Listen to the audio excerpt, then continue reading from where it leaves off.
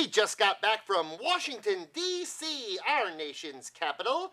Guess what we were doing there? We were visiting Dr. Robert Post, Deputy Director of USDA. Center for Nutrition Policy and Promotion. We showed him our new MyPlate items. Such cool stuff. He loved them. ah, no surprise.